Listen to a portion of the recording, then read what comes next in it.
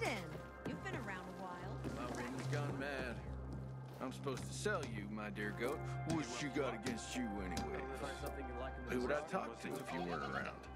I get more use out of you than I get from that wench.